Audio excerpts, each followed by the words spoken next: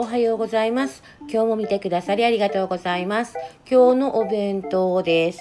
今日はね夫のリクエストでサバのフライでした。好きみたいですねサバ。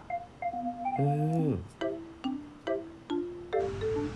でまずちくわを縦半分に切ってくるくるくるって巻いていって両サイドを爪楊枝でツンツンって止めます。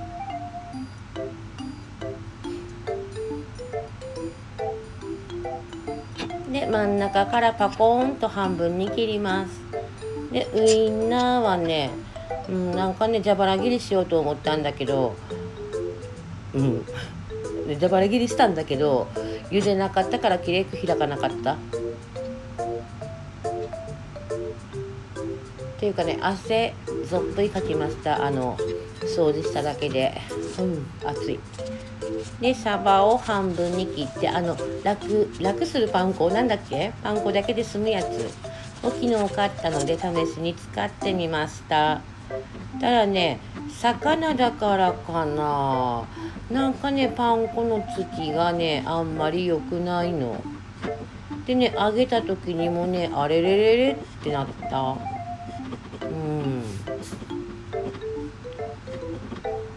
魚だからかね。なんでだろうね。で今日もだし巻きから焼いていきます。でねだし巻きの分量は左に出てるこれです。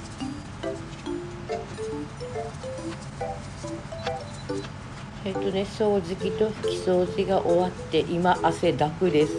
めちゃくちゃ暑い。ふーって感じ。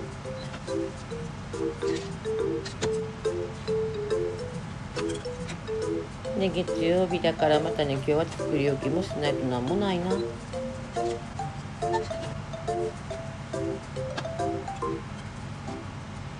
でこれでだし巻きが焼き終わりかな。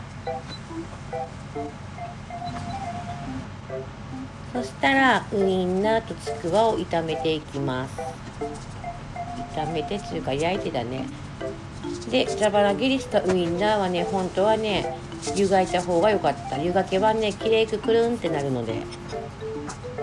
うんそれがめんどくさくて焼いたらあのくるんとならんかったです。でサバを揚げます。じゃあね衣がねなんかね剥がれてねえらい黒くなりましたがよ今日は。やっぱうーん。うん。あの楽するパン粉ね割高な割にはうーんって感じ私の感想は。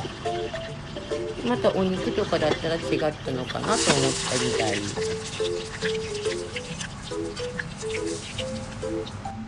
で詰めていきます。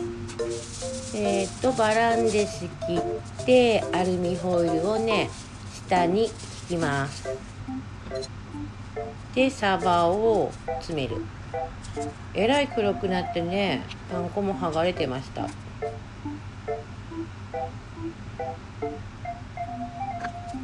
でだし巻き卵を入れてであのね焼いたちくわはねソースをかけて鰹節をペペッとかけてねお好み焼き風にしました。でそれを詰めてウインナーを詰めてでスナップエンドウを入れました。本当はねブロッコリーの方が彩りがいいんだけどね。彩りがいいというかブロッコリーも入れたいんだけどね。ブロッコリーだけはねうちの夫が食べません。